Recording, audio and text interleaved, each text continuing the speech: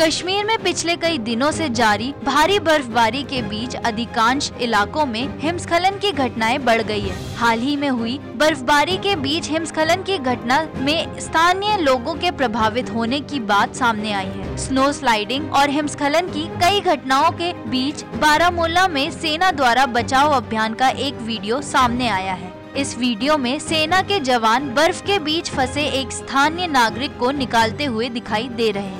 जानकारी के मुताबिक, उत्तरी कश्मीर के बारामूला ज़िले में स्थित लच्छीपोरा इलाके में मंगलवार को स्नो स्लाइडिंग की घटना में एक स्थानीय नागरिक बर्फ़ में फंस गया था। स्थानीय प्रशासन की टीम ने सेना के जवानों को ये सूचना दी तो सैन्य कर्मियों ने मौके पर पहुंचकर रेस्क्यू ऑपरेशन शुरू किया। सेना के रेस्क्यू ऑपरेशन में बचाए गए व्यक्ति को प्राथमिक जाँच के बाद स्थानीय अस्पताल में भर्ती कराया गया। इसके बाद देर शाम डॉक्टर ने हालत सुधरने पर उसको डिस्चार्ज कर दिया। सैन्य अधिकारी के मुताबिक बारामूला के रहने वाले उक्त व्यक्ति का नाम तारिक इकबाल है और अस्पताल में इलाज के बाद उसकी हालत में काफ़ी सुधार हुआ है।